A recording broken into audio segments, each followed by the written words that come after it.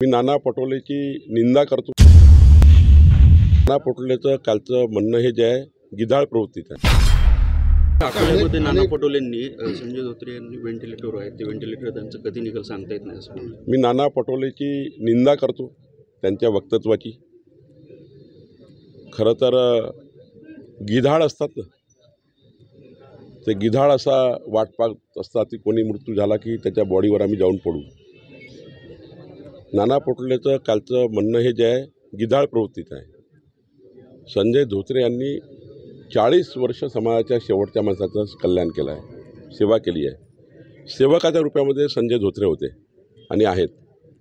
आणि मला असं वाटतं की त्यांच्या मरणाची वाट बघणे त्यांना या पद्धतीनं राजकारणाकरता खालचा स्तर गाठणे आम्ही रोज संजय धोत्रेजी यांना दीर्घायुष्य लाभो त्यांना शंभर वर्ष वर्ष आयुष्य लाभो अशी प्रार्थना करताना त्यांचे चाहता मोठा वर्ग आहे. त्या लोकसभेमध्ये. सात सात वेळा निवडून दिला लोकांनी. त्यांच्याबद्दल असं बोलणं योग्य नाही आहे नाशिकच्या जागेबद्दल छगन भुजबळांचं आहे मला वाटतं की एकनाथ शिंदेजी आणि अजितदादा योग्य निर्णय घेतील. त्या दोघांनी निर्णय करायचा आहे. आणि आमची त्यांना साथ आहे.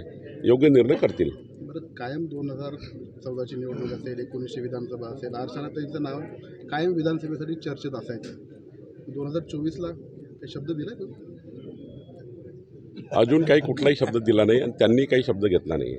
त्यांनी एकच सांगितलं मी केवळ आणि केवळ मोदीजींच्या नेतृत्वातल्या येणाऱ्या देशाच्या कल्याणाकरता जे काम करायचं आहे त्याकरता मी पक्षामध्ये आले अजून कुठलाही शब्द नाही अजून त्यांनी आमच्याशी कुठली चर्चा केली नाही किंवा हा चर्चेचा मुद्दाही नाही आज. आज मोदींची निवडणूक आहे.